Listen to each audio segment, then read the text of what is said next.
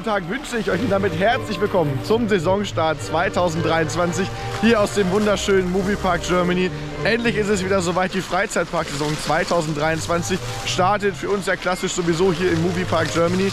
Es hat sich natürlich auch wieder einiges getan, es erwarten uns einige Neuheiten, manche aber erst im Laufe des Jahres. Was es alles schon Neues gibt, das zeige ich euch gleich und ich möchte euch den Park heute gerne noch mal ein bisschen vorstellen, weil in den letzten Jahren hat sich doch auch attraktionstechnisch einiges hier getan. Deswegen erkunden wir den Park heute mal zusammen und starten gemeinsam in die Saison 2023. Ich freue mich.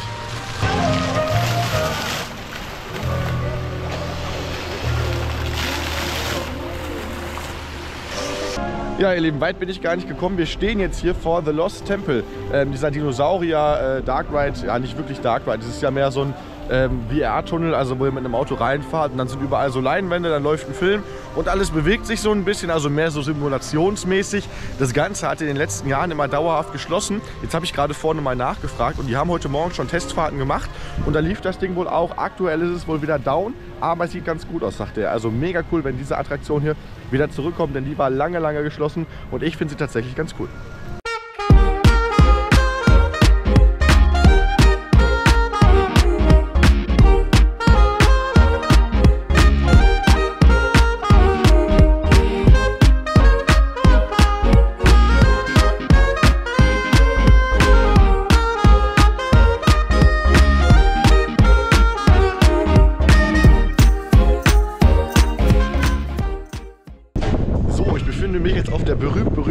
Main Street und ähm, habe gerade mal in dem Shop hier vorne nachgefragt, wie es aussieht mit den Jahreskartenrabatten. Denn in diesem Jahr gibt es ein neues System. Es gibt ja jetzt neu die Platin-Jahreskarte, die habe ich mir auch geholt. Da kriegt man unter anderem einen äh, Goldpass, einen Gold-Fastpass ähm, umsonst und 25% Rabatt eben in den Shops. Und das gilt auch auf reduzierte Ware. Das habe ich gerade schon in Erfahrung gebracht.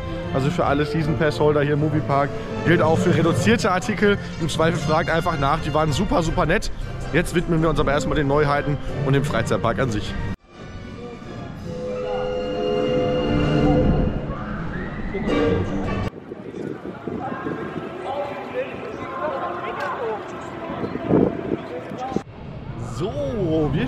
Hier Nickland. Der Bereich sollte euch eigentlich allen Begriff sein. Und hier hat sich in den letzten Jahren tatsächlich auch einiges getan. Unter anderem gibt es den neuen Themenbereich Paw Patrol Adventure Bay, der sich vor allem an die wirklich kleinen Besucher richtet. Und es gibt ja auch die neue Achterbahn, die erst letztes Jahr eröffnet hat, die Movie Park Studio Tour. Die schauen wir uns natürlich auch nochmal zusammen an. Erstmal kriegt ihr jetzt aber ein paar Impressionen hier aus dem Adventure-Bereich.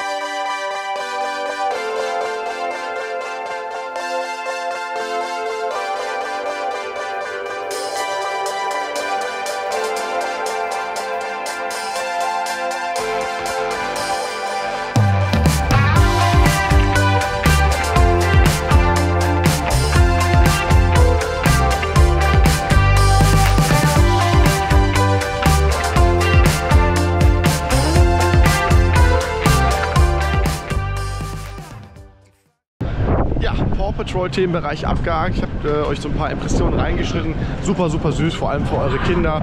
Ähm, ist ja auch eine Fernsehserie, die es da gibt und von daher eine super Erweiterung gewesen. Die neueste Neuheit, die jetzt hinter mir, und zwar ist das die Movie Park Studio Tour. Eine neue Achterbahn, um genau zu sein, ein Multi-Dimension Coaster von der Firma Intermin.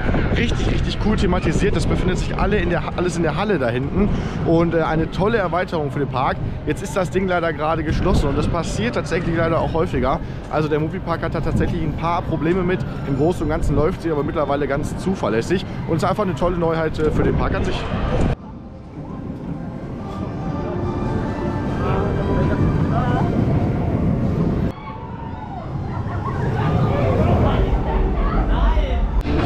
Eine wirklich ähm, sehr, sehr coole Neuheit, auf die wir eigentlich schon seit Jahren warten, sind digitale Wartezeigen und ähm, ja, hier hat man jetzt welche.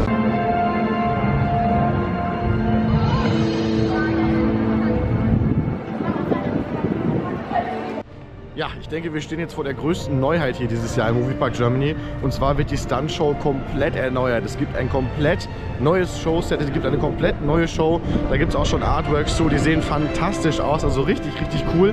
Das Ganze hat aber noch nicht geöffnet, sondern soll ab Juni 2023 dann zur Verfügung stehen. Also hoffentlich zu den Sommerferien, dass wir uns diese schöne neue Show dann auch endlich angucken können. Definitiv die größte Neuheit hier in diesem Jahr und auch echt gut, weil die Stunt-Show und das Stunt-Show-Set, oh mein Gott, Und das Standshow-Set gibt es ja auch schon ein bisschen länger hier. Deswegen finde ich es ganz gut, dass dieses Jahr hier ein bisschen was gemacht wird.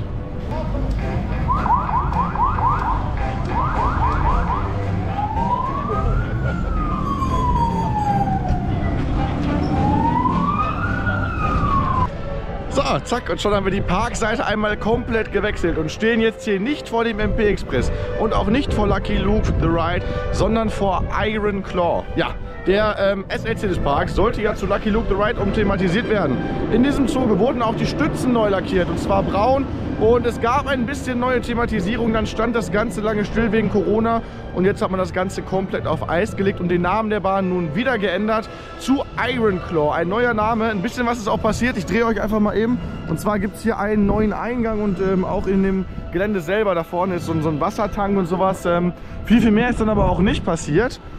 Und das ganze Ding hatte zu zum Saisonstart. Ja, der Zug fehlt komplett, ist wohl auch neu lackiert worden, habe ich mir gerade sagen lassen. Aber zum Saisonstart noch nicht fertig, was sehr, sehr schade ist. Und ähm, dann kommen wir mal wieder zu dem Punkt tatsächlich heute. Ähm, ja, hier Iron Claw hat zu tatsächlich. Bandit hat tatsächlich auch zu, die Holzachterbahn des Parks hier hinten. Die Studio Tour hat auch geschlossen und ich weiß nicht was noch, aber das sind schon mal drei große Achterbahnen, die heute tatsächlich Stand jetzt nicht fahren. Bandit, ihr könnt es aber schon hören, macht gerade Testfahrten. Ähm, ist ja klar, dass so bei Deutschland nicht alles funktionieren kann. Und von daher sei das auf jeden Fall entschuldigt. Ähm, wollte ich euch nur einmal mitteilen. Nicht, dass es euch wundert, wenn ihr in den nächsten Tagen und Wochen hinkommt und der Iron Claw noch nicht fährt.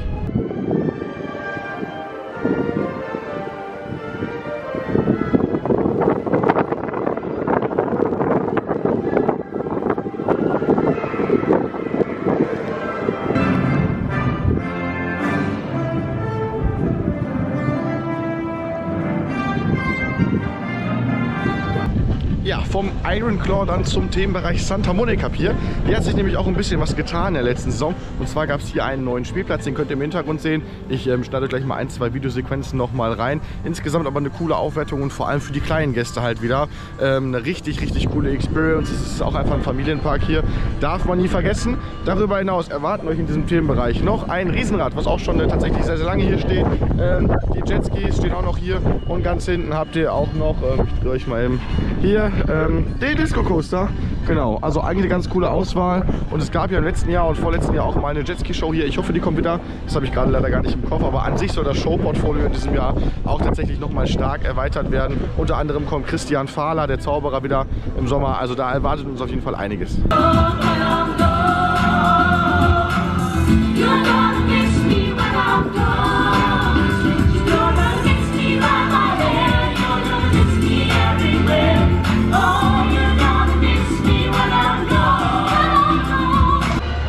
Lieben, jetzt habe ich euch schon ein bisschen was gezeigt. Jetzt kommen wir aber zu meiner und ich glaube auch Celines.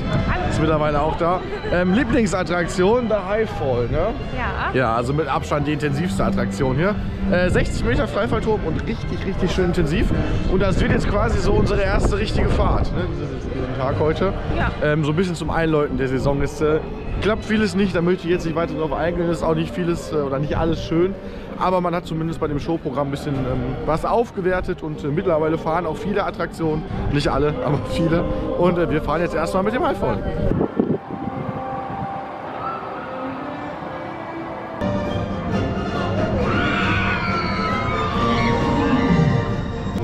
Ach, was war das schön, oder? Ja, war mega. Ja, also Highfall ist halt einfach eine andere Art von Freifallturm. Also vergesst alles, was ihr kennt.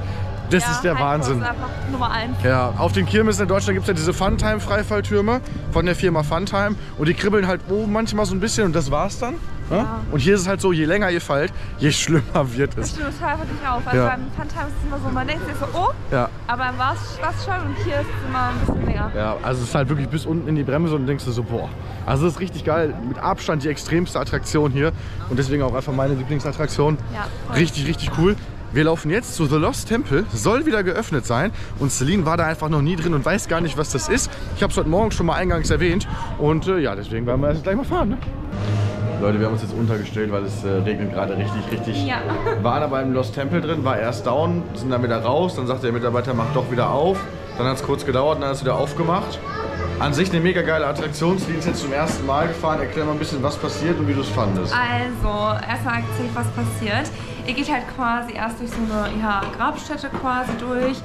erlebt mega viel Pre-Show eigentlich und ähm, müsst, also fahrt mit so einem Aufzug sogar runter und ähm, ja, die Gänge sind dann auch geschmückt, thematisiert, das sieht echt ganz gut aus. Das Problem dahinter war, irgendwie hat nichts gepasst. Also gar kein, es war kein Timing da vom äh, Aufzug nicht bis zum Pre-Show vor der Fahrt. Und bei der Fahrt, also ihr äh, steigt in Autos rein, müsst dann so einen Professor, Doktor suchen und ähm, dann fahrt ihr ein Stück vor, dann sind rechts und links und gerade, also So ein rumherum. Immersive Tunnel halt mit Genau. LED-Leinwänden und sowas. Ne? Genau, und dann äh, leider hat das schon angefangen. Die Fahrt und es hat schon geruckelt, aber leider. Also man ist schon Genau, man reingefahren? ist schon reingefahren, es hat eigentlich begonnen. Ja. Aber der Film hat nicht begonnen. Und dann stand das stand Standbild und ich war so, hä, muss das jetzt so? Guck Leon an, er so, nee. mich schon voll am Aufregen. Und das Problem ist, ich finde an sich die Idee mega. Also ich habe es ja noch nie gemacht und ich finde eigentlich die Idee echt cool. Ich würde es auch gerne nochmal machen. Ja. Aber es war jetzt wirklich eine Fahrt mit kompletten Problemen von Anstehen bis Ende. Ja, also der Mitarbeiter konnte den Pre-Show nicht ganz, hat es halt achtmal auch gesagt Ja, währenddessen. Sag's doch einmal und dann ist gut halt, ne? Ähm, dann die Fahrt, wie gesagt, wir sind reingefahren in den Tunnel und es kam halt einfach nichts. Dann fing dieser Bewegungssimulator schon an und der Film lief noch gar nicht. Davor hat die Abfertigung, ich glaube, wir saßen fünf Minuten drin, bevor wir reingefahren sind, weil irgendwas mit dem Bügel war. Das hat, sehr viel nicht funktioniert. Ja, und dann war halt alles kaputt und du bist halt auch dementsprechend wieder, der Film lief noch und wir sind schon aus dem Tunnel wieder rausgefahren und mal einfach die, die Endszene, die ja eigentlich die beste ist, so gar nicht richtig gesehen. Oh, ich glaube, ich gar nicht. Ja, das zu Lost Temple. Wir stehen jetzt unter, weil es regnet und gucken mal, was wir gleich dann noch machen. Ja, ihr Lieben, der Regen hat uns mal wieder so überrumpelt, dass wir einfach komplett vergessen haben, ein Ende zu machen. Danke euch an der Stelle fürs Zuschauen. Besucht den Park gerne mal. Gebt ihm eine Chance. Aktuell hat sich noch nicht ganz so viel getan. Ein paar Attraktionen sind noch nicht in Betrieb. Aber trotzdem haben wir natürlich einen tollen Film- und Freizeitpark in Bottrop stehen. Und äh, ja, meiner Meinung nach lohnt sich ein Besuch auf jeden Fall immer. Danke euch fürs Zuschauen. Lasst gerne ein Abo da, wenn ihr nichts mehr verpassen wollt. Und ich würde sagen, wir sehen uns beim nächsten Video wieder. Macht's gut. Bis dahin.